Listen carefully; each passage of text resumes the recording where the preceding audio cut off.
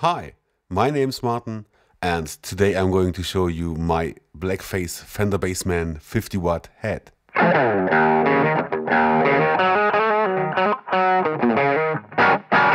So, before we start hearing some tones, let me just quickly tell you how I divided the video in several parts.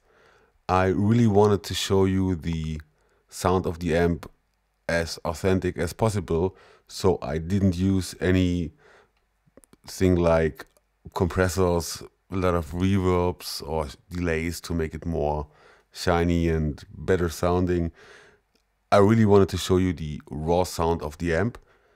Um, I just used a little bit of the Ocean Way plugins from UAD to get some room reverb to make it sound even more authentic.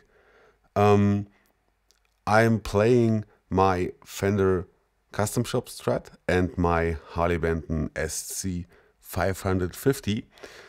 Um, and for the overdrive sounds, I'm using my Ibanez Tube Screamer and the Origin Effects Revival Drive Compact. My signal chain, um, I've pre-recorded um, several little DI tracks, um, which then I reamped back into the Fender amp. And out of the Fender amp, I'm going into my new two notes Captor X IR loader load box, which is, by the way, really awesome. And I've loaded an impulse response with Oxford 12T6 speakers, which came originally with the amp. In this video, I'm playing um, through the normal channel, the bass channel. I've um, tried to show you all the gain ranges and the EQ, the bright switches, the deep switch. So everything I thought is really important to show you the versatility of the amp. Okay, before we start, if you haven't already, please subscribe to my channel, hit the notification bell so you won't miss any new content, videos, lessons, fun stuff, whatsoever. Really appreciate, helps the channel a lot. Okay, without further ado, let's hear some tones.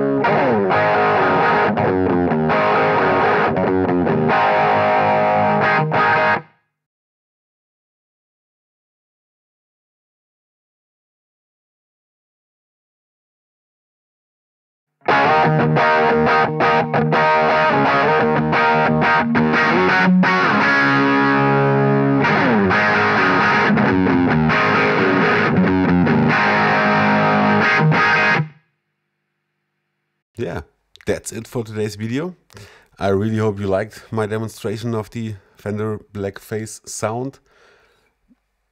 I think, like I said in the beginning, um, it's one of, if not the best amps ever made for guitar. Honestly, um, the clean sounds are adorable. Um, as a pedal platform, we all love Blackface amps.